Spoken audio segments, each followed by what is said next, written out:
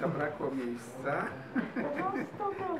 Musisz, musisz się podnieść. A to prawdziwy. Prawdziwy, tak. Ja myślałem, że to z gumy. I tak wygląda y, y, Adam, którego stworzył Pan Bóg. Najpiękniejszy człowiek na świecie, który dał początek y, ludzkości. I tak sobie możemy wyobrazić, że wyglądał Adam y, w raju oliwnym, y, jak właśnie ten, że tu Marcin.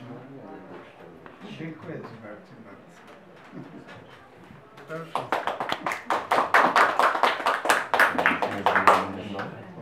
Proszę.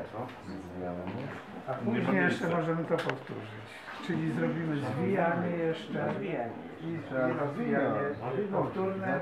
Na razie odpocznij, bo się do- dosyć zmęczyłeś, napisz się wija. Możesz się ubrać. W kraju to chyba miał